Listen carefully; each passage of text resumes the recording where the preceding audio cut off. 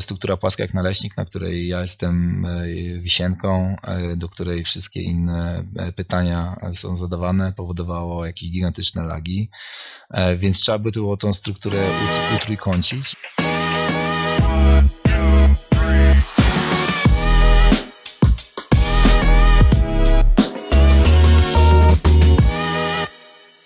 Dziś w Greg Albrecht Podcast naszym gościem jest Adam Tunikowski, jeden ze współzałożycieli firmy Juice. Cześć Adam. Cześć, miło poznać. Powiedz, y, czym jest Juice? Bo mm, tak y, wszedłem na stronę i myślę, coś związanego z produkcją wideo, ale widzę i reklamę, i y, projekty mm, takie fabularne, więc chciałbym lepiej zrozumieć, jak definiujecie to, czym jest Juice?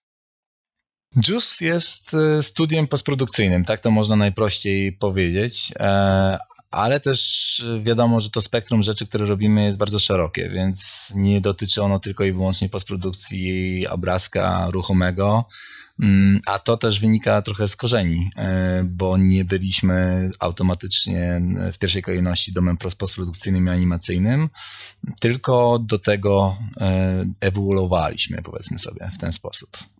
Mhm. Czyli zaczęliście, czytałem, że w 2004 roku, czy to prawda? Zaczęliśmy tak, w 2004 roku, możliwe bardzo, bardzo możliwe, tak.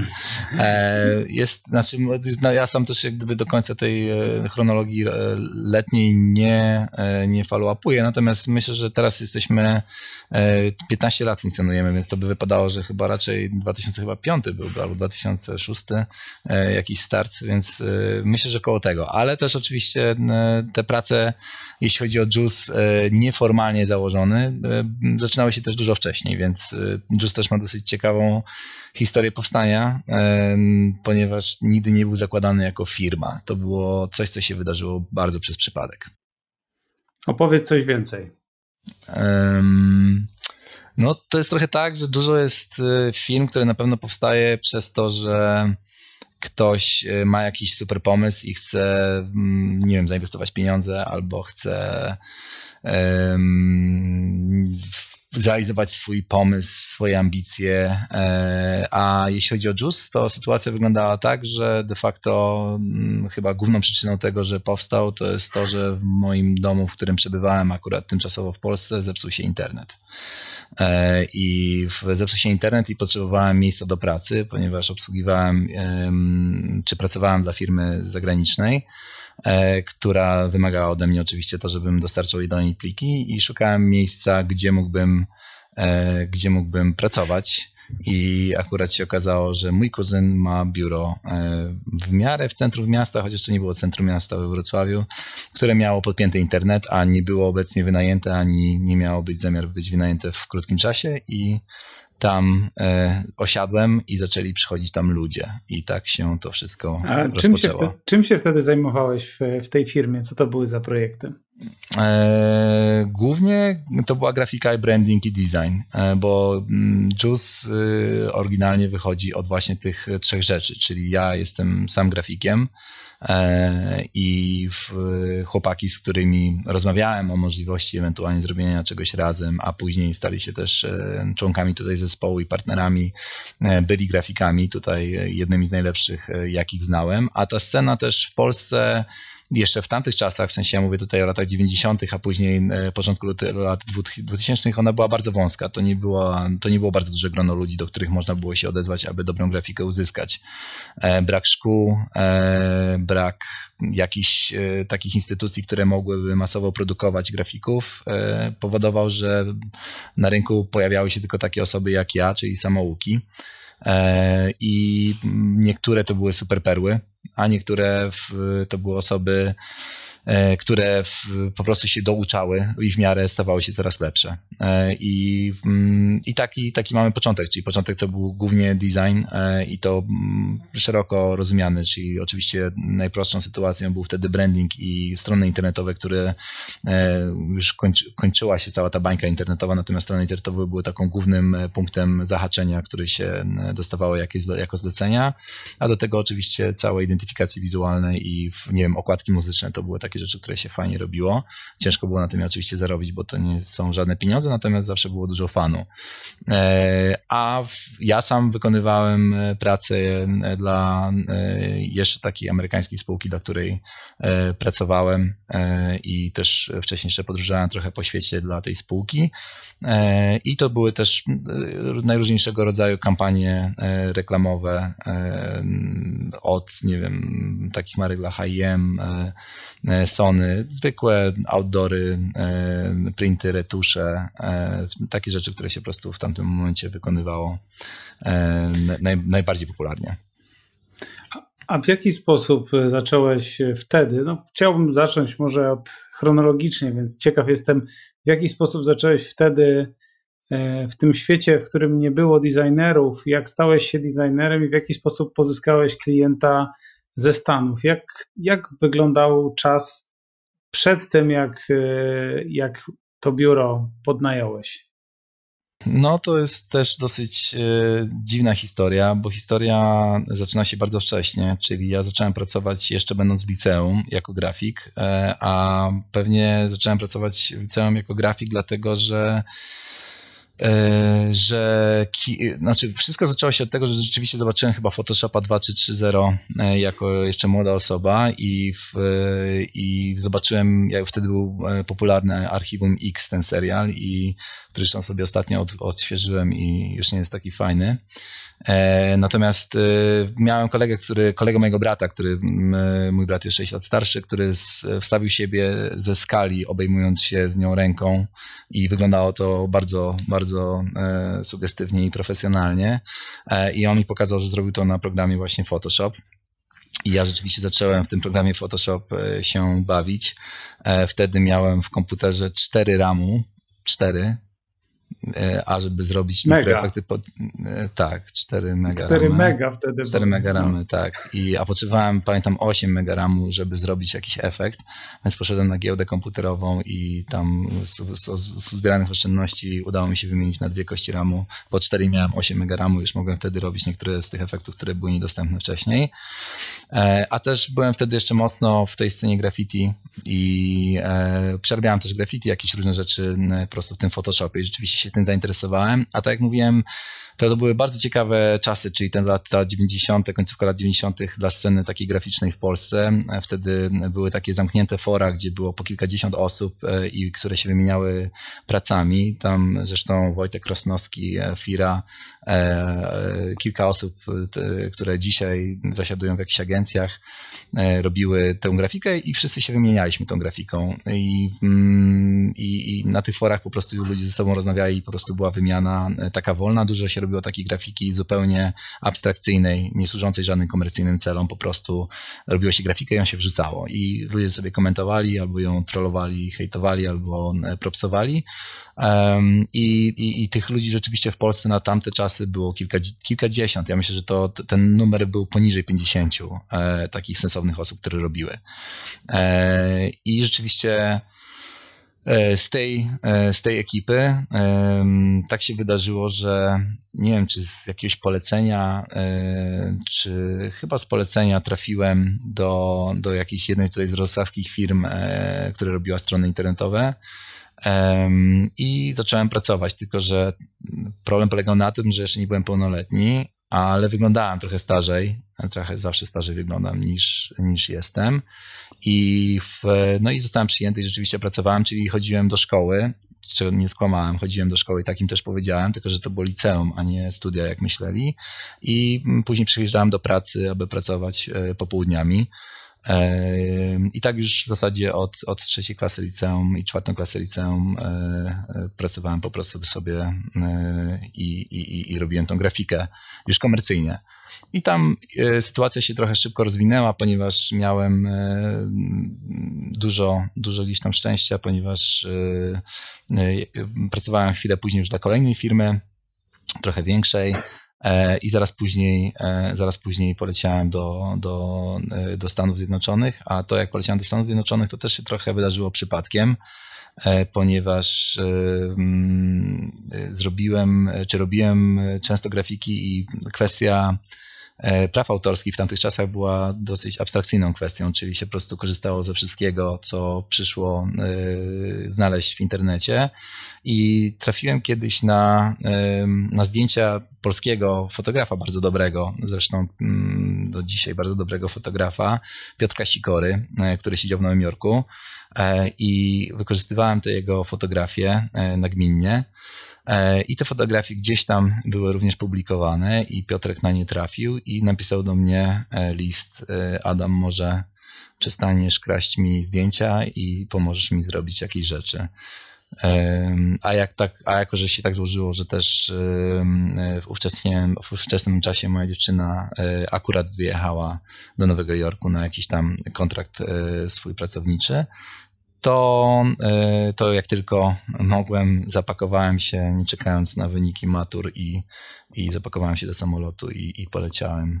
I poleciałem do Nowego Jorku, gdzie już też te sytuacje się potoczyły bardzo tam dynamicznie, czyli e, Stany mają akurat do siebie to, że tam bardzo szybko wyciągają osoby które chcą się pokazać i pracować, a że miałem też dużo szczęścia, no to rzeczywiście tam ta piłka potoczyła się bardzo szybko i zacząłem pracować e, w firmie, która się nazywała Ingen Company, e, czyli takiej agencji już kreatywnej.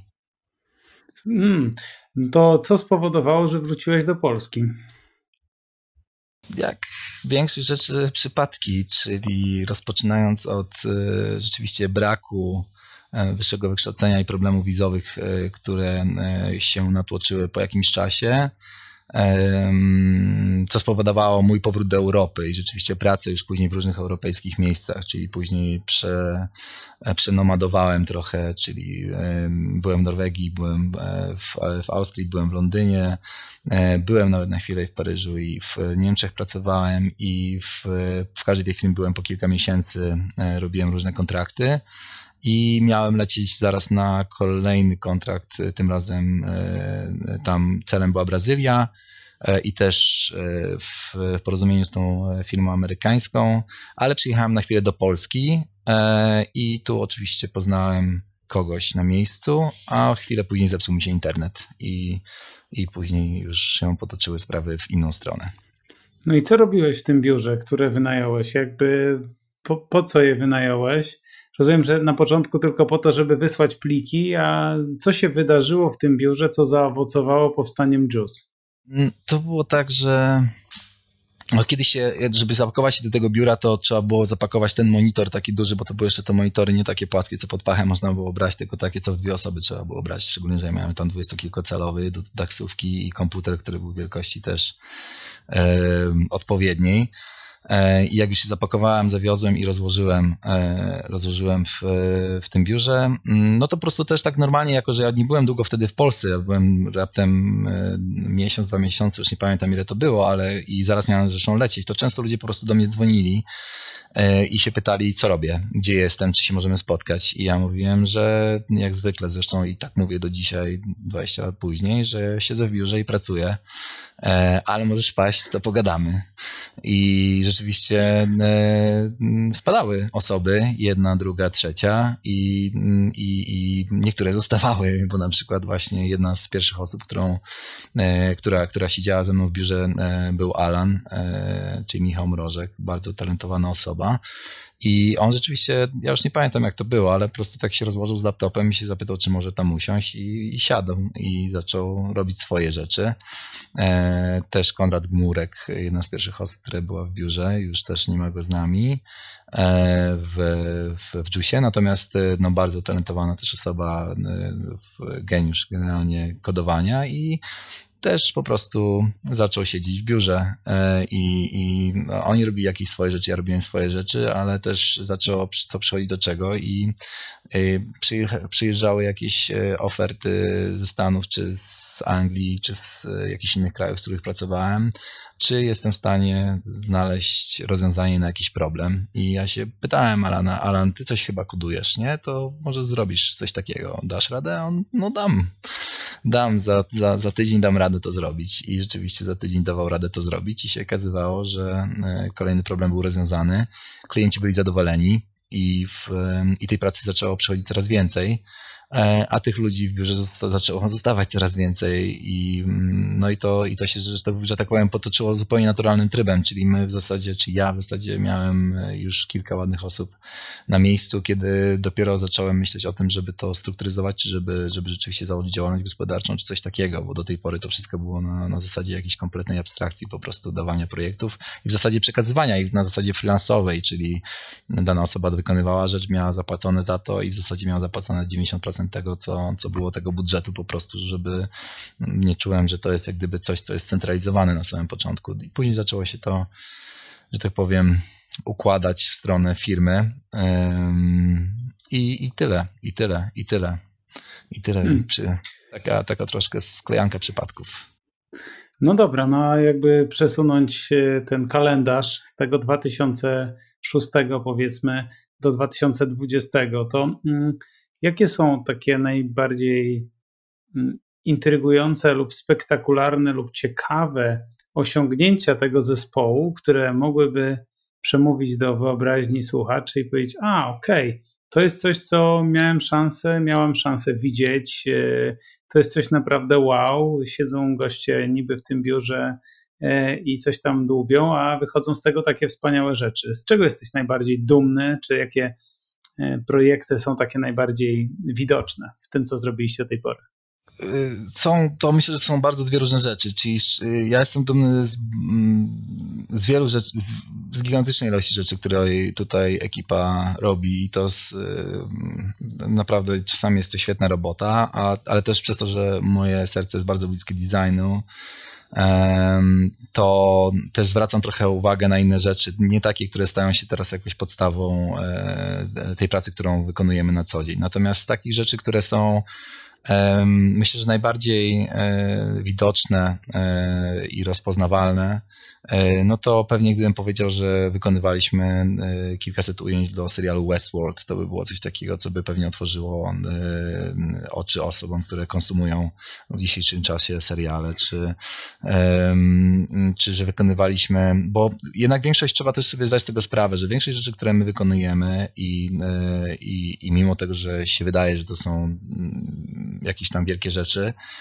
to jest to rynek reklamowy. I rynek reklamowy ma to do siebie, że być może mamy e, trochę fajniejsze projekty z, z tego rynku reklamowego światowego i być może robimy Nintendo, być może robimy BBC, być może będziemy robić e, jakieś marki e, typu Mercedes czy, czy Sony i to wszystko brzmi świetnie, to mimo wszystko są to reklamy, więc do wyobraźni dużo łatwiej przemówić takimi rzeczami jak jakieś efekty specjalne do Westworlda, czy, czy to, że robiliśmy, nie wiem, z jakichś rzeczy dla braci Wachowskich do Cloud Atlas, czy, e, czy, mm, czy że ostatnio e, zaraz zresztą będzie miał premierę za raptem dni kilka e, serial na Netflixie o nazwie Liberator z, Gre z Grześkiem Jokajtysem o II wojnie światowej i to są takie rzeczy, które pewnie konsumencko byłyby zauważalne. A te, ta praca, która jest rzeczywiście ciężką pracą i taką bardzo dużą pracą, która, którą zespół wykonuje, to jest praca, która znika wraz wraz z 30 sekundami na ekranie, e, na ekranie e, telewizora, tudzież e, gdzieś w internecie ktoś mógł widzieć, być bardziej sympatyzujący z daną grą i zobaczyć jakiś cinematic, który zrobiliśmy, czy w którym braliśmy udział. Tu jakiś Call of Duty, tu jakiś War Thunder i tak dalej. To są rzeczy, które, które przemawiają już do wąskiej grupy. Tu Cyberpunk, za którego dostaliśmy ostatnie nagrody i tu za dźwięk z kolei, bo, bo studio dźwiękowe też e, robi genialną robotę i to są, to są takie rzeczy, ale to rzeczywiście są już takie, e, myślę, że bardziej niuansowe rzeczy niż takie, które przemawiają do, do, do masowej publiki. No tak. Kiedyś u mnie w podcaście na samym początku był, e, zresztą mój, mój dobry kolega e, też ma korzenie w tej kulturze hip-hopowej, nawiasem mówiąc, czyli Marcin Groch Grośkiewicz, który ma e, to wydawnictwo You Know Me Records i, cały czas tam na, na winylach różne rzeczy wydaje. I opowiadał swoją historię, jak kiedyś pracował w domu mediowym, odszedł i zdecydował się założyć to wydawnictwo znaczy założył je wcześniej, ale puenta tego była taka, że strasznie cierpiał, że tyle nakładów i tyle pracy jest wkładane w coś, co jest tak efemeryczne, czyli tworzą tę całą kampanię, jest to pompowane, są miliony, jest tyle pracy, a to żyje tylko chwilę, jak motyl po prostu. I też słyszę między wierszami, że, że w tej waszej pracy y, to też może być czasem wyzwanie, że jest bardzo dużo energii włożone w coś, co żyje bardzo krótko. Jak sobie na poziomie zespołu y, czy, czy, czy na poziomie ludzi radzicie z tym, żeby, żeby cały czas mieć tę pasję do realizowania tego, nawet jeżeli czasem niestety te efekty bardzo krótko będą widoczne? To jest ciekawe pytanie. W sumie nawet nigdy się nie zastanawiałem na tym, ale powiem Ci szczerze, że chyba w zespole jest bardziej energia idzie w stronę tego, że kiedy dany projekt jest skończony, to, to panuje pewnego rodzaju radość e, i w zasadzie już nikt nie patrzy na tym, co się wydarza, jak ten motel poleci. E, okay. Nasza branża jest trochę taka i to jest oczywiście i to jest chyba bardzo ciężka rzecz, z której ja sobie zacząłem zdawać sprawę już długo, jak byłem w tym procesie, jak już długo uczestniczyłem w procesie tej postprodukcji, że mm, że tutaj zaczynamy zawsze od białej kartki. Znaczy, może nie zawsze, ale, ale powiedzmy sobie, no, zwykle zaczynamy od białej kartki. I e, ta praca ma taki charakter, że przez to, że za każdym razem patrzysz się na pewnego rodzaju wyzwanie i musisz je zaprojektować, wymyślić, jak je rozwiązać i, i, i, i, mm, i dostosować jak gdyby siebie, swoją pracę, swój pipeline, swoje osoby, e, artystów do tego, żeby e, rozwiązali dany problem, za każdym razem jest to w jakiś tam sposób nowe. Tam jest e, pewnego rodzaju taki powtarzalność w tym, w tym, co, w tym, co robimy, ale na bardzo małą skalę. Ta powtarzalność dotyczy pewnych metod, rozwiązań, e, właśnie takich, jak mówię, typu pipeline i sposobów podejścia do niektórych rzeczy. Natomiast w dużej części e, za każdym razem trzeba ten problem rozwiązać na nowo, co jest z punktu widzenia kreatywnego na pewno w jakiś sposób kreatywne i nigdy się trochę nie nudzi e, i zawsze jest niestety E, jest to bolączką, bo chciałoby się zrobić coś, e, coś powtarzalnego, coś, co byłoby prostsze przez to, ale z drugiej strony za każdym razem, kiedy się dochodzi do, do końca tego procesu, to się ma już absolutnie dość. Już chce się to wypuścić i, i często było też tak, że nawet takie filmy, które E, udało się nam zrobić, które e, były jakimś dużym sukcesem, jak film dla BBC, e, dla Sochi. Ja po skończeniu tego projektu, gdzie 13 weekendów w śpiworach przesiedzieliśmy pod stołami w biurze, nie, nie mogłem się na to patrzeć. Dla mnie to było cały czas nijakie i dopiero rzeczywiście jak zobaczyłem to, nie wiem, 3, 4, 5 miesięcy później dopiero mogłem złapać dystans i, i zrozumieć, że rzeczywiście jest to dobra robota. I trochę tak jest, że Wada mam wrażenie, że też zespół zawsze dochodzi do tego momentu, oddaje i e, wypuszcza to e, niczym e, techniki odpuszczania po prostu i, i, i idzie do kolejnego zadania. E, I to jest trochę jak zawsze wyjście na ring, to jest zawsze walka, to jest to jest, myślę, że, że boks jest bardziej bliższy tej dyscyplinie niż, niż, niż cokolwiek innego. Hmm, to jest e, bardzo ciekawe. E, czy to jest Twoim zdaniem taka immanentna cecha tej branży, czy to jest jakaś definicja Waszej kultury organizacyjnej i stylu pracy? To jest definicja tej branży. W sensie e, ta branża w zasadzie się dzieli na, na dwa typy e, firm, no może trzy, ale dwa takie podstawowe, bym powiedział, typy firm, które wykonują zadania w, w tej postprodukcji.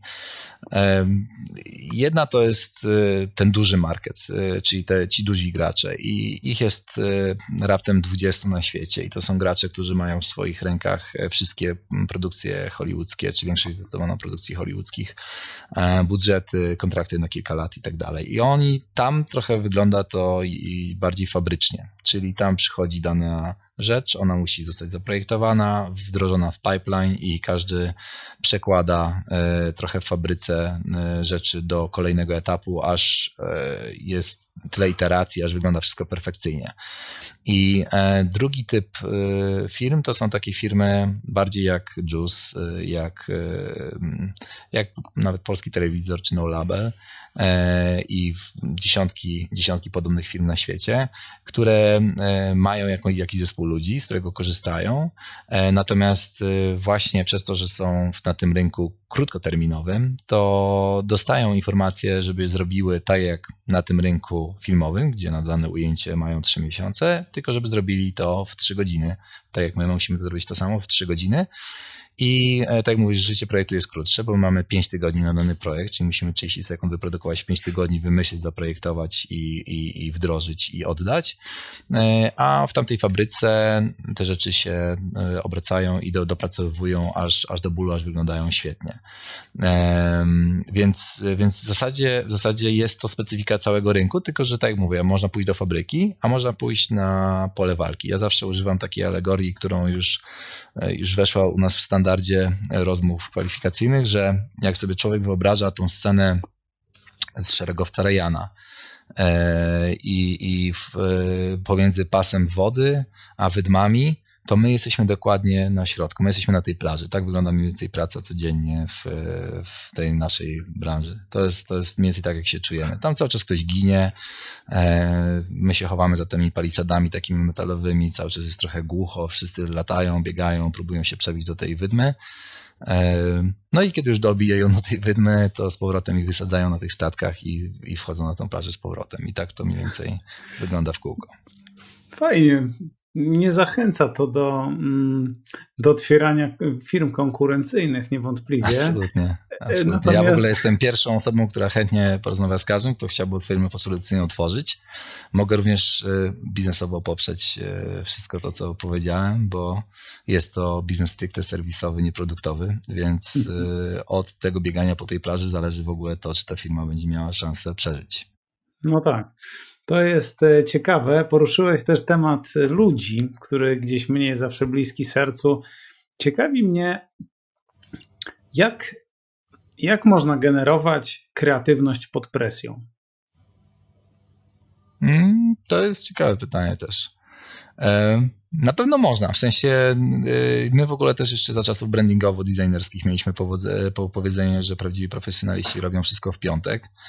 E, I wynikało to z tego, że zawsze bardzo dużo czasu mijało i się myślało, i w zasadzie później się siadało i rzeczywiście się wykonywało to, co się miało zrobić w chwilę, a takiego momentu dojścia do, do, do, do tego, do, do, do, do, do, tych konkluzji e, bardzo dużo czasu się przepalało.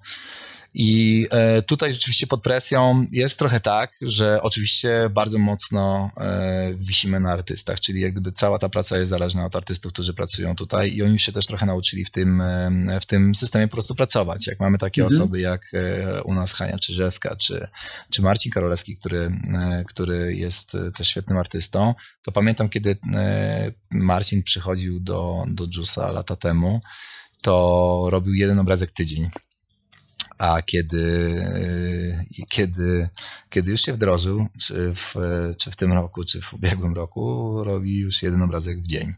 I to tak, to tak się po prostu zmienia się gdzieś tam ta percepcja. Jak gdyby moim zdaniem kreatywność u ludzi jest, u artystów w szczególności, ona jest po prostu częścią ich talentu. To jest jak gdyby część e, pakietu, który oni ze sobą niosą. I pytanie, jak szybko ona będzie sparkować i, i będzie e, się wykluwać, to jest kwestia w zasadzie wyćwiczenia.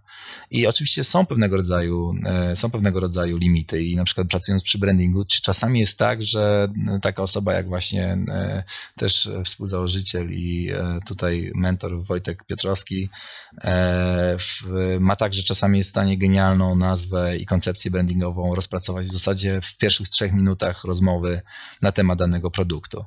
A czasami jest tak, że wodę się leje tygodniami i ciężko jest znaleźć fajne rozwiązanie. I taka jest też trochę kreatywność. Natomiast y, i tutaj są, mówię, limity w, w różnych kwestiach, w nazewnictwie, w, w, w, jakimś tam wymyślaniu koncepcji szerszej strategii. Natomiast w takich kwestiach wizualnych, gdzie po prostu trzeba dane rozwiązanie na talerzu przynieść, bo ten robot musi się przebić przez tą ścianę, trzeba wiedzieć, jak ten robot będzie wyglądać, bo on zaraz ma dać kwiatka tej dziewczynce po drugiej stronie tej ściany. Tutaj jak gdyby to już, to już wynika tylko i wyłącznie z umiejętności z palców i z kreatywności tych osób, które rzeczywiście tego robota i tą dziewczynkę muszą wymyśleć i oni to są w stanie zrobić już w zasadzie jak lekarze na zawołanie. Po prostu jest to rzecz, którą są w stanie wykonać, ponieważ są już profesjonalistami w tym, co robią i zwykle są osoby, które są genialne w tym, są osoby, które potrzebują trochę więcej pracy, ale, ale jest już dosyć proces automatyczny i wydaje mi się, że ta ich kreatywność nie jest limitowana nawet tym czasem. Okej, okay, czyli, czyli kreatywność jako cecha osobo, osobista, którą można ćwiczyć, aby była szybciej uwalniana. Szybciej, i... szybciej uwalniana, tak, bo, bo to jest coś takiego, że jak dany artysta siada, y, ja też dzielę artystów y, na, są, jest dwa typy y, artystów, designerów. Ja jestem na przykład tym drugim. Pierwszy typ to jest taki, który drukuje, e, czyli ma w głowie, i to jest Marcin na przykład, myślę, że Hania czy wiele innych osób też, czyli to są takie osoby, które mają pewnego rodzaju wizję, mówisz im, to my potrzebujemy tego robota i żeby coś tam i oni myślą, myślą, myślą i później ok i zaczynają rysować na kartce i drukują to, co mają w głowie. A jest drugi typ artystów, taki, którzy eksperymentują, czyli to jestem ja. Ja nigdy nie wiem, jak to będzie wyglądać. Coś tam robię, coś tam sklejam, coś wygląda, coś nie wygląda, zaczynam odcinać e, i dopiero zaczynam ciosać z tego kamienia i coś z tego wychodzi. I myślę, że szczególnie ten pierwszy typ artystów ma coś takiego, że rzeczywiście oni zamkną oczy, sobie wyobrażą coś i, i przeleją to na, na, na papier, na kartkę, na Photoshopa i to jest po prostu to. I tutaj dużo czasu nie potrzeba. E, taka kreatywność, która wymaga stworzenia historii, e, strategii, koncepcji, to jest rzeczywiście coś takiego, czego mówię, co jest trochę też losowym wydarzeniem i nie da się tego przyspieszać. E, ale, ale w, takim, w, te, w, takim, w takiej sztuce fizycznej, czyli w krafcie, bo to też jest kwestia, ja dużo bardziej lubię rzemieślników niż artystów, to jest też tak, że w takim krafcie po prostu stricte, to już jest profesjonalizm i umiejętność po prostu przerzucenia niektórych rzeczy po prostu na, na, na, na świat wizualny. E, I tutaj nie ma żadnych limitów, bo to osoby po prostu z ręki potrafią zawsze zrobić obraz. Hmm. Jest, tak jak słucham, w waszym biznesie sporo różnych e, usług, powiedzmy, czyli jakby realizujecie wiele różnych, w wielu różnych obszarach te, te usługi, te kreujecie, tworzycie i to dla różnych branż, dla różnych zastosowań i różne rzeczy, no bo tu jeszcze trochę branding, tu postprodukcja, tu audio, tu wideo, tu rozumiem, że jakieś animacje i to i dla różnych, różnych typów organizacji czy firm. Jak to I w dodatku mówisz, że nie ma procesu, tylko że za każdym razem to jest jakby tworzenie od nowa, ze względu na to, że to jest 100% firma usługowa. To, to jak się zarządza taką organizacją, która ma tak skomplikowane źródła przychodów, typy produktów y, i jak czytałem, zespół w tej chwili ma około 90 osób, tak? To, mhm. to jest naprawdę spory zespół, więc jak te wszystkie elementy, które, które są bardzo zróżnicowane, zamknąć pod, pod jednym szyldem, w ciągu w jednej strukturze, aby to działało. Bardzo, bardzo ciężko, e, bardzo ciężko i też niektóre ogony trzeba było poodcinać. E, natomiast nie ma, nie ma też złotego standardu, bo tak jak mówisz, jak gdyby mm, te, te rzeczy są bardzo zdywersyfikowane, czyli tutaj może być muzeum. Teraz skończyliśmy jakąś teraz w Japonii wystawę, gdzie jest 9, poko 9 pokojów, które mają 360 projekcji z każdej strony, że się zakłada okulary i tam w tych okularach jeszcze dodatkowe jakieś rzeczy, lisy latają i, i to trzeba było wszystko wymyślić, za, zaprojektować, zanimować i to w różnych technologiach i zawsze zaczynamy rzeczywiście ten projekt i już wiemy jak go zaczynamy, że jesteśmy dwa tygodnie i mamy za mało czasu, więc to trzeba cały czas gonić, bo, bo, bo, bo, bo jesteśmy na końcu tej całej struktury, w sensie, że postprodukcja i produkcja obrazu jest na końcu całego tego łańcucha pokarmowego, więc y, nie jest, nie, znaczy nie jest, nie jest łatwo, czyli jak gdyby na pewno mieliśmy coś takiego, że w pewnym momencie w, w firmie musieliśmy się zdecydować, że nie robimy niektórych rzeczy, e, czyli tak jak kiedyś programowaliśmy, co być może było złą decyzją, patrząc się na to, co się dzisiaj dzieje na rynku programowym, ale że jak kiedyś programowaliśmy, to musieliśmy zdecydować, że już nie będziemy tego robić i że, że odcinamy ten kupon i nie będziemy go dalej e, ciągnąć. E, związaliśmy się stricte z obrazkiem, a dywersyfikacja tego obrazka ma e, swoje, swoje oczywiście obciążenia, ponieważ najłatwiej by było mieć taką, taki factory floor, czyli to, o czym rozmawiałem, gdzie po prostu coś wchodzi, jest wykonywane, I tak dział CG mniej więcej zaczyna działać, czyli tak mniej więcej to ustrukturyzowaliśmy, żeby to mogło w ten sposób funkcjonować, e, a e, poszczególne zespoły, które wykonują inne projekty, czy bardziej, e, czy, czy bardziej w stronę kreatywnego, czy brandingu, one są trochę takimi wolnymi atomami i w danym momencie, kiedy też dany zespół potrzebuje się skonkretyzować na potrzeby jakiejś wielkiej bitwy, no to po prostu się też go dozbraja dodatkowymi żołnierzami z Legii Ziemskiej po prostu. Mhm. Więcej tak to wygląda. A zarządzanie tym wszystkim jest to na pewno wyzwanie. No, kiedyś też e, przez długi czas bardzo, myślę, że do 50 osób mieliśmy strukturę płaską jak naleśnik i to na pewno było dużym obciążeniem dla mnie. E, I struktura płaska jak naleśnik, na której ja jestem e, wisienką, do której wszystkie inne pytania są zadawane, powodowało jakieś gigantyczne lagi, więc trzeba by było tą strukturę utrójkącić i tak też zrobiliśmy. Natomiast y, nie ma, nie, ma, nie ma też y, idealnych rozwiązań, dlatego właśnie, że masz grupę niesamowitych e, tych artystów, którzy siedzą, którzy robią jakieś super skomplikowane rzeczy. E, cała ta ekipa, te chłopaki, dziewczyny od 3D to są jakieś, kurcze, to są super mózgi, ale też e, ciężko się zarządza takimi osobami na twardo, bo to są osoby, które właśnie są kreatywne i to są osoby, które potrzebują trochę atencji, i to nie wygląda też jak znam już trochę osób, które mają różne firmy, to y, i na przykład też mieliśmy jakieś tutaj procesy HR-owe i mamy osoby, które się zajmują jakimś tam HR-em i tak dalej, to zawsze pierwszą osobą, znaczy pierwszą rzeczą, którą muszę powiedzieć, to jest to, że to naprawdę nie wygląda jak żadna inna firma, czyli y, taki, nawet taki CD Projekt Red, który oczywiście ma gigantyczne e, korporacyjne już e, e, zasady z ponad tysiącem osób, czy jakaś inna firma duża koderska, to są, mimo tego, że się wydają tożsame z tym, co my robimy, to mimo wszystko wymagają zupełnie innego podejścia. I to podejście niestety jest bardzo miękkie, znaczy niestety, niestety, niestety, bardzo miękkie.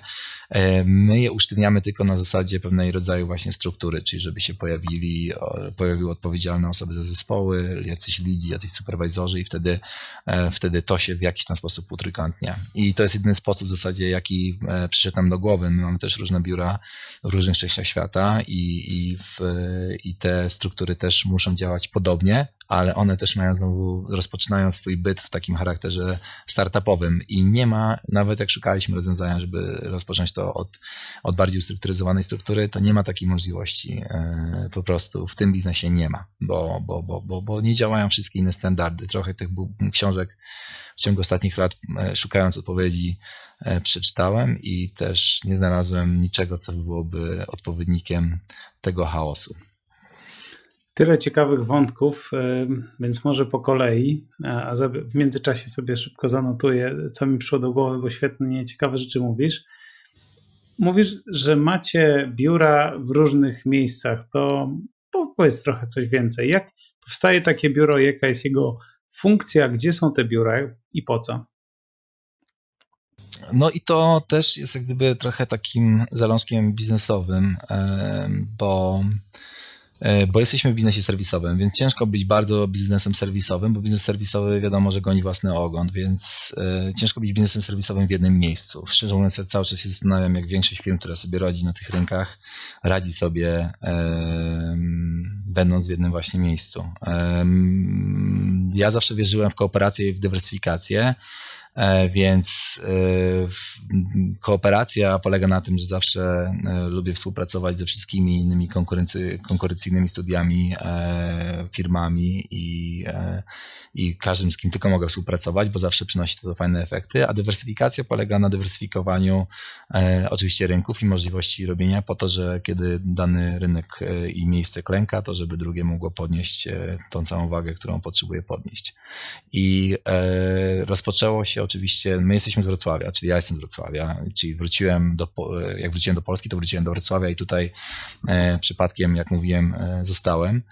E, natomiast, natomiast oczywiście naturalnym pierwszym pomysłem każdego biznesmena, który na pewno nie byłem też nigdy zbyt dobrym, ale było oczywiście pójście do Warszawy. No więc, więc oczywiście pierwszym miejscem zahaczenia była Warszawa i tutaj poprzez też najdziwniejsze sytuacje, które się wydarzyły, objęliśmy E, objęliśmy zarządzaniem biuro w Warszawie na Alei Lotników 1, gdzie mieliśmy też e, kilkunastu osobową ekipę grafików oraz studia dźwiękowe. E, teraz przesunęliśmy tą całą część graficzną do Wrocławia, ale prawie całą ale, w, ale pozostały studia dźwiękowe, które z kolei się też bardzo fajnie rozwijały e, i ciekawym jest też to, że te studia dźwiękowe są takim dopełnieniem w ogóle tej, tego obrazka, który robimy, a jest to trochę taka zapomniana sztuka, e, super niedoceniana w, w obrazku, ale e, gdybyśmy sobie włączyli dzisiaj film Transformers i próbowali go obejrzeć bez, bez warstwy dźwiękowej, samą warstwą samą warstwą obrazkową, no to nie, nie otrzymywalibyśmy nawet e, połowy, e, połowy tej energii, połowy tych efektów, które, które mieliśmy. E, I w, więc Warszawa była oczywiście pierwszym przystankiem i tutaj, i tutaj powstały te studia dźwiękowe, które, które pod zarządzaniem Kuby Pietrzaka, który jest też geniuszem dźwięku, super sobie zaczęły radzić.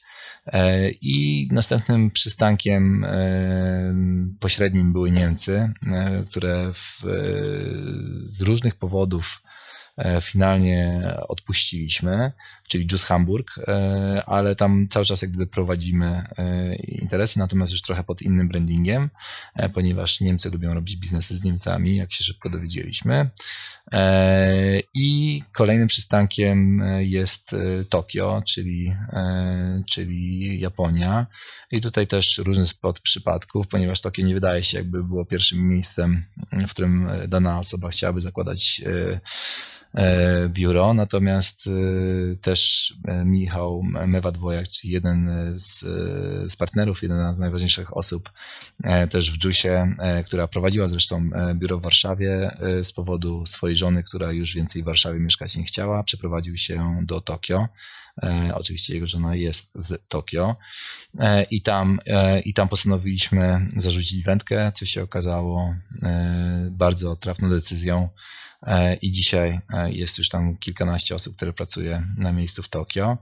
E, no i zaraz też patrząc się na to, że, mm, że, że, że ten rynek azjatycki stał się nam bardzo bliski, że też dużo pracujemy na rynku azjatyckim, to planujemy już w ciągu kilku kolejnych, kolejnych myślę, że kolejnych, ale kilku, nie wiem czy kilku, czy kilkunastu kolejnych tygodni otworzyć biuro w Szanghaju, gdzie również będzie kilkuosobowa do dziesięcioosobowa ekipa.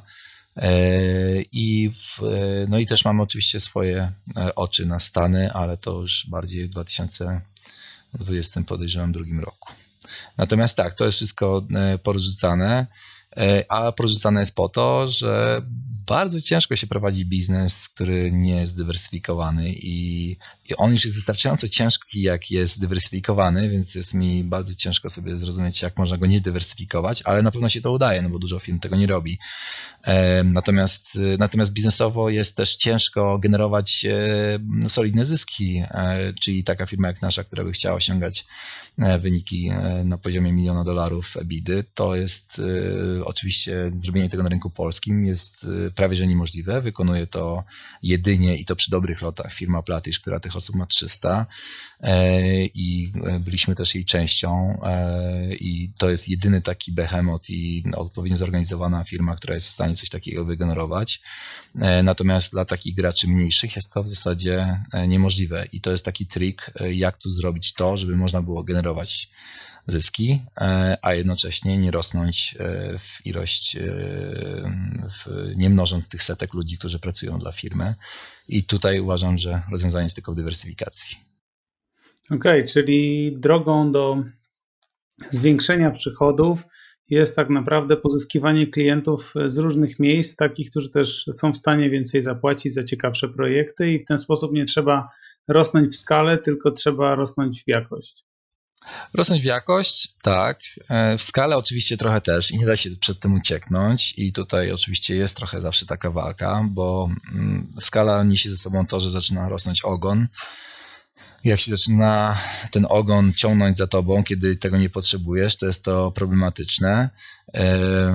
No i tutaj trzeba już delikatnie wyważać. I tak jak mówię, może wyjść to lepiej, może wyjść to gorzej.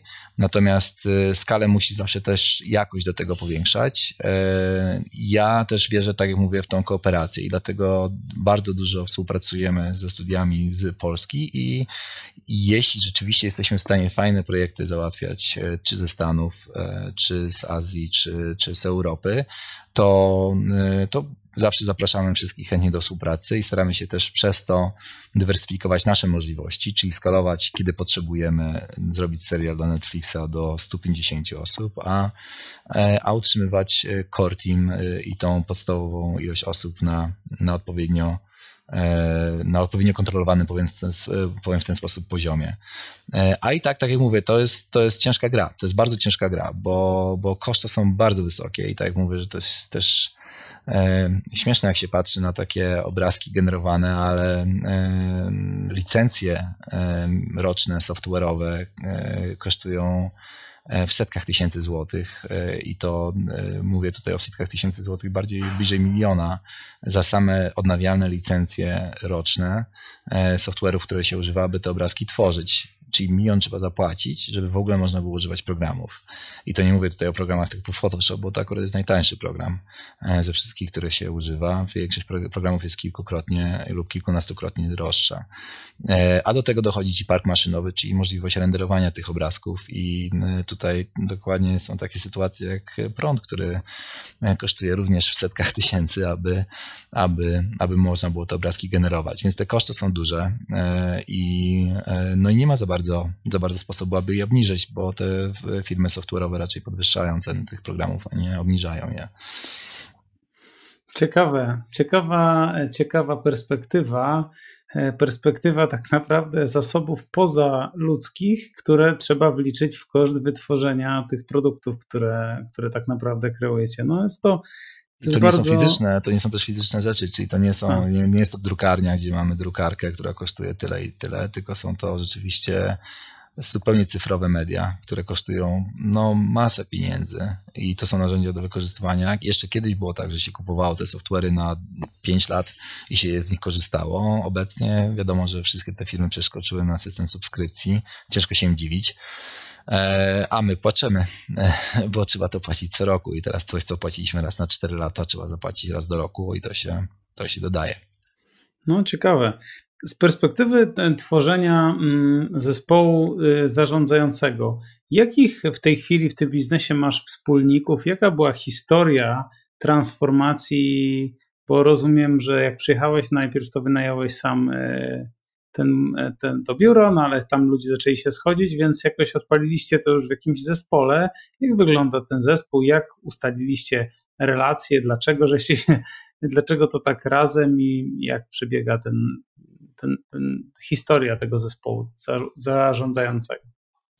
E, historia zespołu jest e, zarządzającego. Ona, ona też jest mocno przypadkowa. E, znowu, jak wszystko, co opowiadam, jest dziełem przypadku i szczęścia, i, i przypadku. Natomiast sytuacja jest taka, że rzeczywiście przez wiele lat ta firma była zarządzania pod moją banderą E, i była to, nie wiem, przez też x lat po prostu działalność jednoosobowa. E, oczywiście w pewnym momencie, kiedy e, zaczęliśmy się przytulać bliżej z Platiżem, musieliśmy się przerobić na spółkę i wtedy rzeczywiście były, była rozdawana pula udziałów. Natomiast ta pula udziałów de facto nie ma nic wspólnego z tym, jak spółka jest zarządzana. To była po prostu pula udziałów dla osób, które przyczyniły się do tego, żeby ta spółka się gdzieś tam rozwijała. E, I e, ja myślę, że takim kluczowym punktem e, były dwie osoby, czyli Paweł Janczarek i Wojtek Piotrowski, wcześniej wspomniany, którzy byli oryginalnymi pomysłodawcami przy jakimś spalonym joincie wiele lat temu pomysłu tego, żeby zrobić coś razem. E, I, e, i, i, a później te osoby, które, które dołączyły do zespołu, zaczęły go, znaczy zaczęły bardzo mocno wpływać na modyfikację tego, co rzeczywiście ta firma robi. I one, i one już w zasadzie często nie były nawet wspólnikami w tej, w tej, w tej strukturze i stawały się po prostu osobami, które są odpowiedzialne za zarządzanie. Czyli tych partnerów, których mam w spółce, jest ich dużo, bo też te udziały, których rozdałem e, do osób, jest ich około 10, myślę. E, natomiast to też nie ma w zasadzie odbicia w też bezpośredniego w tym, kto dzisiaj zarządza tą spółką, e, bo to rzeczywiście w tym momencie w największym, w największym stopniu jest, jestem jeszcze ja, Michał Dwojak z E, Japonii, z, z biura japońskiego oraz Michał Misiński, e, który zarządza teraz tym biznesem w Warszawie i wspólnie teraz ciągniemy ten wózek. Natomiast na liście osób jest e, trochę artystów, trochę, trochę superwizorów, trochę osób, które pomagały w rozwoju biznesu i nawet niektórych osób dzisiaj już z tych, z tych osób dzisiaj w biurze i w JUSie nie ma, a nadal są udziałowcami, bo tak w danym momencie czułem. Czyli jest to też trochę dzieło przypadku i dzieło chaosu. Hmm, ciekawe mówisz dużo o przypadku, o chaosie i, i, jesteś artystą, jak sam powiedziałeś, tak, z, z natury, czy z, w każdym razie korzenie masz artystyczne, no ale jesteś też przedsiębiorcą. Jaki model poza przypadkiem i doświadczeniami uczenia się i stawania przedsiębiorcą był dla ciebie najbardziej przydatny? W jaki sposób zdobywasz wiedzę, mówiłeś o jakichś książkach, które tutaj próbowałeś e, znaleźć rozwiązanie, jak sensownie skalować biznes e, inaczej. Jakie źródła cię budują jako przedsiębiorcę poza rozmowami z ludźmi i, i doświadczeniami własnymi? Myślę, że takim największym budulcem e, w doświadczeniach filmowych jest po prostu wiatr w twarz. To jest, to jest, to jest coś, co się wydarza E, naturalnie e, i naturalnie też uczy e, bycia twardszym i robienia rzeczy inaczej. Tak, książek trochę zacząłem czytać, ale to już dlatego, że po prostu człowiek był kiedyś e, już kilka razy na takim rozdrożu, że mówił, to jest niemożliwe, że, że to musi być gdzieś opisane, to gdzieś musi być jakieś rozwiązanie. I rzeczywiście bardzo dużo rzeczy w jakichś takich książkach e, o, o, o sposobach zarządzania, jakichś e, o, o, From Good to Great, czy jakichś innych lekturach, w których pokazuje się firmy, które gdzieś tam zrobiły jakiś leap. Można się dużo nauczyć na zasadzie zrozumieć, że, że jakoś to funkcjonowało. Natomiast większość rzeczywiście tych książek dotyczy firm, czy dotyczy rozwoju firm, które już mają pieniądze. I to jest trochę tak, że my żyjemy na takim super biednym rynku, no bo ta Polska jest takim, takim, takim rynkiem, który, na którym jest ciężko zarobić i takie duże firmy właśnie, jak mówię, jak Platisz obracają 70 milionów, a są w stanie zostawić e, w swojej kasie dwa, czasami trzy a takie firmy jak, e, jak Papaya, które są największymi producentami w Polsce, również tego zysku dużo nie mają i to cały czas jak gdyby oscyluje poniżej tego miliona dolarów zysku, który powiedzmy sobie jest takim pierwszym e, zauważalnym zyskiem EBITDA za granicą. I tak sobie myślę, że większość tych książek w ogóle, która jest napisana, jest często napisana oczywiście, nie czytałem za bardzo polskich lektur, ale jest napisana na, na zagranicznych standardach. I te standardy w ogóle też za bardzo nie odpowiadają tym standardom, w których my jesteśmy. Bo tak jak mówię, my jesteśmy na tej plaży, czy jesteśmy trochę w lesie i próbują nas zjeść wilki, to tak trochę my cały czas walczymy o życie. To jest, y, tak wygląda trochę życie przedsiębiorcy w Polsce, mam wrażenie. I nie ma takiego e, dużego oddechu e, finansowego, który by pozwalał na to, żeby można było sobie myśleć, strategizować i e, inwestować i patrzeć, co działa, co nie działa. Po prostu trzeba rzeczywiście działać trochę ad hoc. E, I rzeczywiście największym takim e, learning curve'em dla mnie było, było na pewno przyłączenie się i później poprzez tam różne rzeczy, odłączenie się też z grupy Platish. To było na pewno takie duże biznesowe doświadczenie, ale ono też zostawiło mnie z jedną bardzo ważną rzeczą, czyli z finansami, czyli do momentu, kiedy kiedy prowadziliśmy tą spółkę i zanim jeszcze weszliśmy do, weszliśmy do grupy, naturalnie mieliśmy klientów zagranicznych i ogólnie raczej było zawsze bardzo w porządku z pieniędzmi i nigdy nie było jakichś większych problemów. Oczywiście zdarzały się i cashflowowe problemy, jakieś inne rzeczy, ale nikt za bardzo nie myślał o finansach w spółce, no bo wykonywaliśmy jakieś rzeczy, graliśmy w PlayStation i wydawało się, że wszystko jest w porządku. I, i to się zmieniło, kiedy też i byliśmy w grupie, a zaraz też później weszliśmy z grupy i zaczęliśmy rzeczywiście strukturyzować to finansowo, czyli zaczęliśmy sprawdzać, ile, kosztują, ile kosztuje robienie projektów, robić budżety, e, zacząć się e, planować, zacząć się, zacząć się analizować i to dosyć dogłębnie, co do godziny wykonanych rzeczy, co się bardziej opłaca, co się bardziej nie opłaca, gdzie jest jaka marżowość i tak dalej. I to E, I to jest coś takiego, co nie przychodzi naturalnie, myślę, wydaje przedsiębiorcom. Przynajmniej mi nie przychodziło absolutnie. Ja w ogóle miałem wrażenie, że to jest absolutnie sprzeprawowany czas, a w, doprowadziło to do tego, że, e, że człowiek śpi dużo spokojniej w nocy i że jest to w jakiś tam sposób sterowana sytuacja i ona ta sytuacja, czyli ta finansowa sytuacja, czy zrozumienie tej finansowej sytuacji wym, wym, wymaga na tobie też pewne ruchy strategiczne.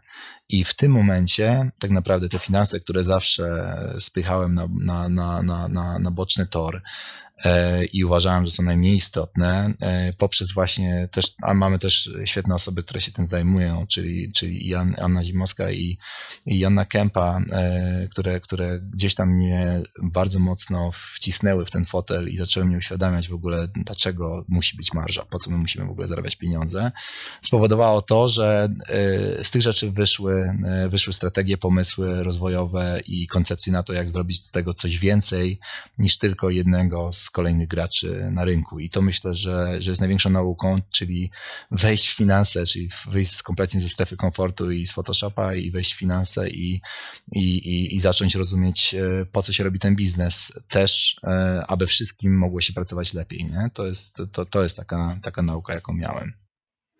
Bardzo ciekawe. Jaki jest ten jeden element, który który spowodował, czy jakieś narzędzie, czy, czy co takiego mm, jakby sprawia dzisiaj, że, że te finanse są obecne? Jak, jak, albo czy był jakiś taki jeden element, albo czy jest jakiś jeden element, który, czy jakaś jedna praktyka? No bo rozumiem, że można wiele rzeczy zbudować w obszarze finansów i pewnie trzeba, tak jak mówisz, takie pomiary, inne pomiary, ale czy jest jakiś jeden element, który wpłynął na sposób podejmowania decyzji, e, w jakiś w jakimś e, wymiarze i, i dzięki temu właśnie czujesz, że jest ta dźwignia na to, że no tak, kurczę, ma to sens, jednak nie tylko Photoshop, ale czy tam jakieś inne narzędzie też się opłaca.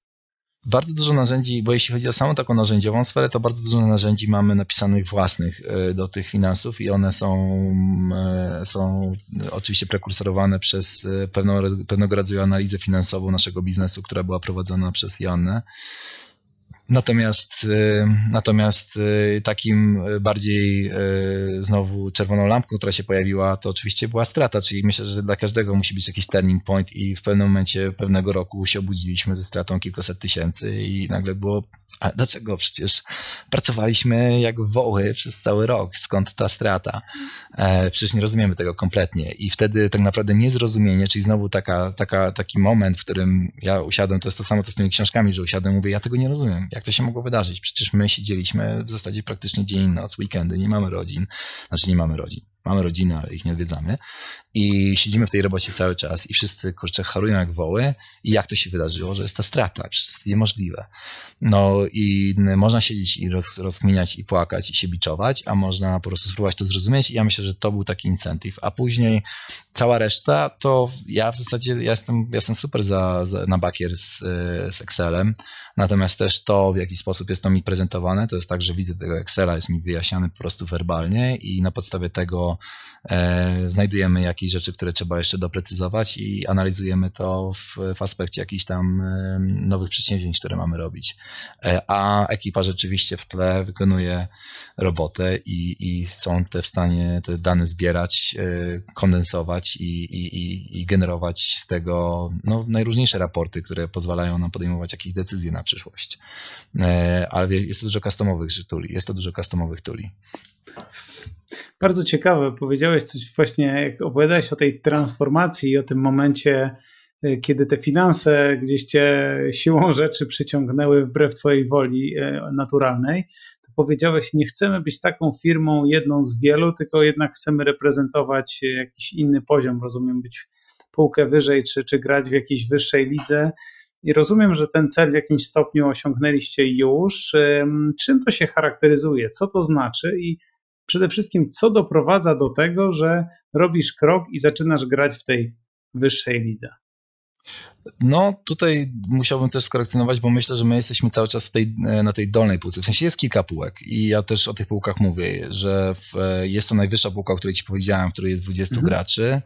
E, i ci, tych 20 graczy ma w zasadzie 95 do 98% takiego poważnego rynku. I to tam jest na przykład taka firma jak ILM, Industrial Light and Magic, która robiło Star Wars, z którym wszyscy są na pewno e, oznajomieni. I ta firma ma 20% e, całego rynku postprodukcyjnego w firmach na świecie. A już kolejny gracz po nich, czyli firma, już teraz nie chcę skłamać, ale czy to była Weta? Weta chyba miała, miała 12%, czyli to już jest o połowę spadek, a kolejna firma, czyli NPC, miała już powiedzmy około 7%, a kolejna firma już miała około 4 czy 3. I to jest mniej więcej takie schody są, czyli znowu jest trochę podobne jak w kapitalizmie. 99% pieniędzy należy do 1% ludzi, to tak samo tutaj ten rynek jest skupiony bardzo około 1% firm postprodukcyjnych na świecie, czy nawet mniej niż 1%, bo to 20 firm to jest nic. E, I to jest ta najwyższa półka. E, ale też najwyższa półka dotycząca oczywiście filmów, to jest też dosyć e, ustrukturyzowany rynek e, pod tym względem. I później są takie bardzo, bardzo światowe firmy, które robią genialne rzeczy. I to jest taka druga półka, i one są zwykle z Wielkiej Brytanii, to są jakieś różne frame story inne, które, które robią ponadprzeciętne rzeczy. To będzie SIOP amerykański, czyli mass, mass market. Jest kilka takich firm, które po prostu produkują bardzo dużo, robią to bardzo dobrze E, i to jest powiedzmy sobie taka druga półka. E, I wśród nich pojawiają się teraz coraz częściej tacy, tacy gracze, e, tacy gracze jak Digi Pictures czy, w, czy, czy, czy, czy, czy Blur. Blur odpowiedzialny za Love, Death and Robots na Netflixie, bo staram się dać, dawać referencje do, do, do czegoś, co może być znane przez ogólnie znaną publikę. I to są firmy, które do tej pory robiły cinematiki, czyli, czyli robiły trailery do gier komputerowych, które stały się już w tym momencie swoim własnym industry, do którego też nasz rodzimy Platisz bardzo fajnie się dodrapał i dzisiaj jest jedną z tych e, spółek, e, które robią jeden z najlepszych trailerów dla gier komputerowych na świecie. E, I, i to, jest, to jest taka, powiedzmy sobie, druga półka, i na tą półkę właśnie myślę, że tą, tą drugą powoli gdzieś tam wdrapuje się, wdrapuje się teraz Platisz. I później jest ta trzecia półka, i ta trzecia półka już jest, to jest 10 pewnie tysięcy e, firm na świecie, e, może przesadzam, może, może mniej niż 10 tysięcy, ale kilka tysięcy firm na świecie, które robią trochę lepsze rzeczy e, niż ta półka ostatnia i y, to jest taka powiedzmy sobie y, czterostopniowa skala i, i one, on, oni mają dostęp do lepszych projektów, y, mogą robić mniej lub bardziej skomplikowane projekty i czasami dostają możliwość pracy nad, nad bardzo skomplikowanymi projektami. I to jest taka półka, na którą my się tam powoli drapujemy. Natomiast cała półka poniżej to jest już te 10-20 tysięcy film postprodukcyjnych na świecie, które po prostu robi postprodukcję reklam i różne rzeczy.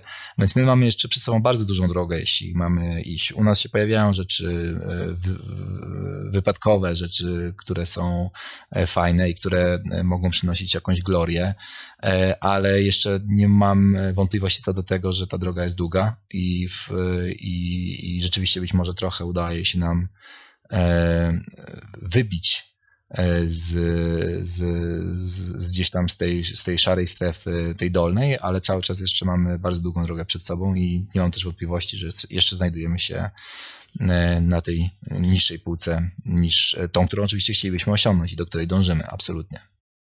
A mm, co Ciebie napędza po tych 15 latach działania? Jaki jest Twój napęd do tego, żeby, żeby dalej iść, żeby dalej się w tym rozwijać, no bo mówisz e, o, tych, o tym, że jest to sporo wyzwań, że jest to, jest to trudne do zorganizowania, czyli takie mocno wojenne wojenno-bokserskie analogie tutaj przedstawiałeś. Jaki jest ten, jaki jest ten z Twojej perspektywy napęd, który Cię pcha? W sensie to jest na pewno pewnego rodzaju ambicja, czyli oczywiście robienie coraz to fajniejszych rzeczy i to jest e, duża rzecz, natomiast e, przejście też, e, przeskakiwanie pomiędzy tymi półkami jest na pewno też swoją, swojego rodzaju drive'em, ale też chyba taką ambicją, która już przyświeca mi od jakiegoś czasu dłuższego, to jest też kwestia tego, że bardzo zależy mi też na tym, żeby potrafić tak ułożyć ten biznes, żebym też sam mógł z powrotem wrócić do tych rzeczy, które lubić najbardziej, e, lubię robić najbardziej, czyli projektować. E, I trochę sobie, trochę mam taki task, że w tym momencie bardzo dużo e, bardzo dużo zależy ode mnie biznesowo, więc jak gdyby jest to teraz główny pivot moich działań i na tym się skupiam a w, chciałbym w przyszłości móc głównie z powrotem wrócić do projektowania, czyli do czegoś, co już e, co robię, ale robię teraz do skałku, robię bardzo rzadko, e, kiedy tylko mogę. E, a do tego, żeby móc to zrobić, to muszę też tak ustawić biznes, żeby móc też projektować. I to jest trochę takie koło zamknięte, więc to jest coś, co mnie na przykład bardzo mocno prywatnie motywuje. Czyli moja chęć udoskonalenia struktury w firmie do tego stopnia, żebym mógł rzeczywiście zająć się projektowaniem, a ktoś inny mógł zająć się strategią to jest, e, to jest dla mnie e, prywatnie motywacja. I ona jak gdyby mhm. nigdy nie blednie, ponieważ roboty, jeśli chodzi o strukturę i o, o ogarnienie biznesu jest tyle, że, e, że, że na pewno mam co robić jeszcze przez kolejne, myślę, że 2-3 lata na pewno.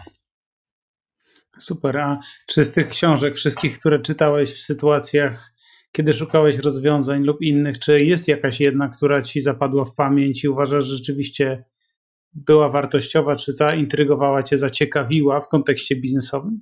E, myślę, że mogę wspomnieć, bo żadna mi nie pomogła jakoś super, powiem szczerze. Jest kilka ciekawych pozycji e, i one dotyczą też pewnie głównie ludzi, czyli pewnie jakiś Surrounding by Idiots, e, standardowa książka, która się też pojawia w dużej ilości wywiadów, to jest tam How to Influence People E, mhm. która jest też takim standardowym i też ciekawym, e, ciekawym podejściem do sprawy, ale chyba tak pamiętam, że jedną z takich książek, która mi się spodobała i ją polecałem, to była właśnie From Good to Great.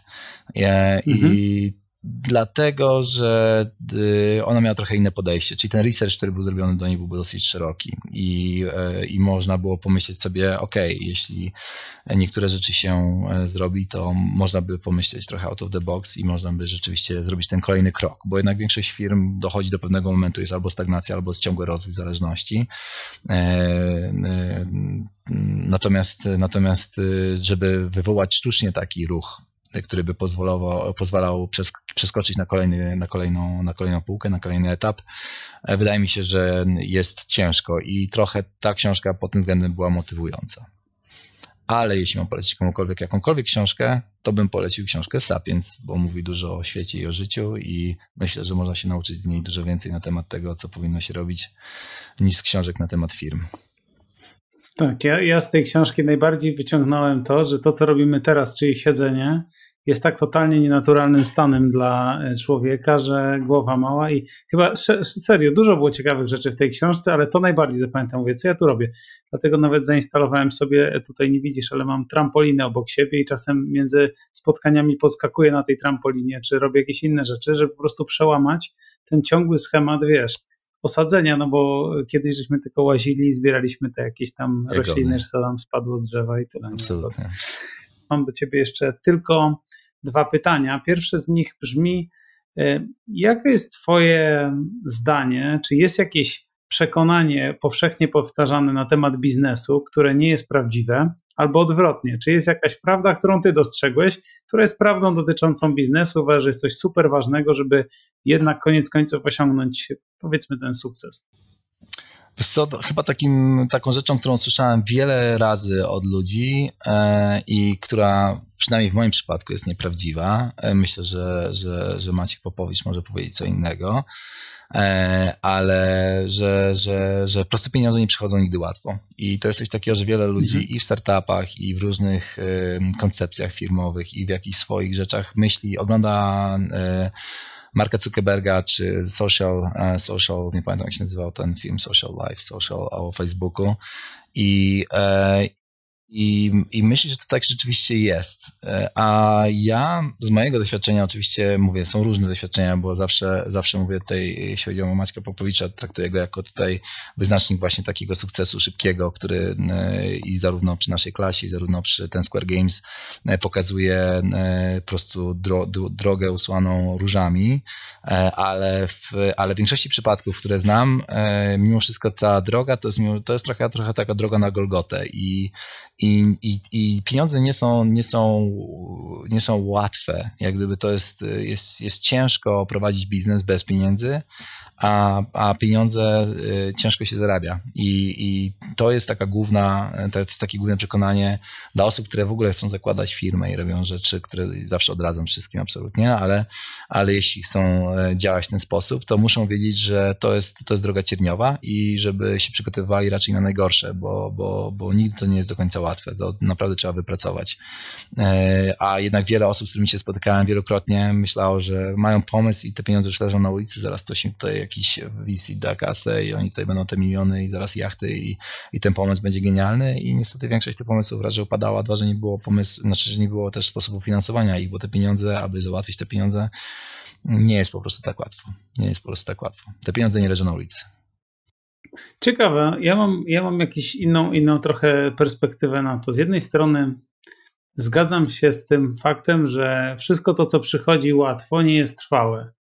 W związku z tym, e, więc z tej perspektywy łatwo zarobione pieniądze zazwyczaj są okupione jakimś e, problemem, ale z drugiej strony zastanawiam się, czy takie przekonanie, e, że właśnie, że, że pieniądze, że trudno jest pieniądze zarabiać w biznesie, czy ono jest budujące, ciekawe. No, to jest, to, jest, to jest nowa perspektywa i muszę się też nad tym mocno zastanowić, bo, bo myślę, na ile to nie jest, wiesz, jakieś ograniczające przekonanie, które masz, które może być, wiesz, samo spełniającą się przepowiednią. Tego może, nie wiadomo. Może też być, absolutnie. Znaczy, to jest też trochę tak, że to, co ja mówię, to bardziej w takim kontekście, że, że często właśnie osoby mówiły mi, no tak, ale tutaj załatwienie, tutaj bańka, tam bańka. Ja mówię, tak, ale to, to załatwienie tu bańka, tam bańka, wiesz, no każda bańka, załatwienie każdej bańki do finansowania to są miesiące siedzenia nad kontraktem kontraktem i, i, i sama, to, sama energia i praca, która idzie w to, to już jest praca. I to, to, to chodzi o to, że, że to nigdy nie jest, że nic nie jest proste tak naprawdę, to nie jest nic proste, nad, nad każdą rzeczą trzeba się napracować, i, a ludzie mają trochę mm, y, poprzez właśnie mówię, poprzez Zuckerberga czy, czy, czy Bezosa, czy, czy Maska mają trochę takie poprzekrzywione, akurat Mask może jest złym przykładem, bo on akurat zapieprza, ale mają trochę takie przekrzywione i podejrzewam, że każdy z innych panów również zapieprzał, to w ogóle absolutnie nie ma dwóch zdań, tylko że mają trochę takie przekrzywione zdanie, że to się wydarzyło tak i już, nie? I że już wszyscy będą, będziemy Steve'ami Jobsami i Billami Gatesami. Że pracować trzeba. A y, jaką jeszcze byś na końcu, jakby, tak miał taką jedną rzecz na koniec powiedzieć wszystkim słuchaczom, y, co z Twoich doświadczeń, co z, twojej, z Twoich obserwacji związanych z biznesem e, jeszcze jest ważne, albo cokolwiek, co uważasz, że, że warto powiedzieć, co, co może posłużyć innym i, i też Wam coś dobrego, jakąś dobrą energię wysłać? Mm, znaczy, moją, moją, moją taką radą zawsze jest e, może mniej e, pozytywna rada, bardziej negatywna w aspekcie niektórych ludzi, czyli ja zwykle odradzam ludziom zakładania firm. Dlaczego? Dlatego, że jest to, jest to super droga, jest to super droga, ale e, też i daje na pewno bardzo duży reward. To w ogóle nie ma, nie ma, nie ma dwóch zdań. Natomiast jest to super też ciężka droga i nie jest ona na pewno dla wszystkich. Mhm. I jeśli ktoś, e, mimo tego, że będę go e, od, od, od, mu odradzał, będzie szedł w to, jest to absolutnie e, godne, godne e, poklepania i potwierdzenia, natomiast mówię, mówię, żeby być bardzo ostrożnym. Jest to, jest, to, jest to ciężka droga i ja zwykle mówię to w drugą stronę, bo wiem, że wiele osób raczej szuka takiej motywacji do tego, żeby działać. Ja mówię, że jest super też pracować dla kogoś, nie trzeba robić swojego biznesu. To jest, to jest też coś, co, co, co, y, co daje y, ludziom jako radę, ponieważ trzeba mieć naprawdę dużą odporność na stres, y, żeby, żeby sobie z tym, z tym dalej poradzić, z ciągnięciem tego całego wagonu.